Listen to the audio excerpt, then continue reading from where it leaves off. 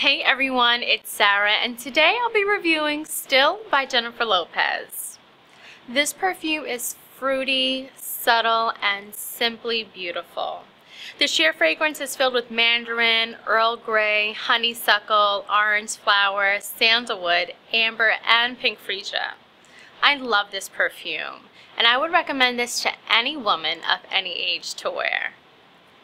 Alright everyone, that's all for today. If you want to see more reviews on your favorite products, be sure to subscribe to our YouTube channel and check us out on Facebook, Instagram, and Twitter.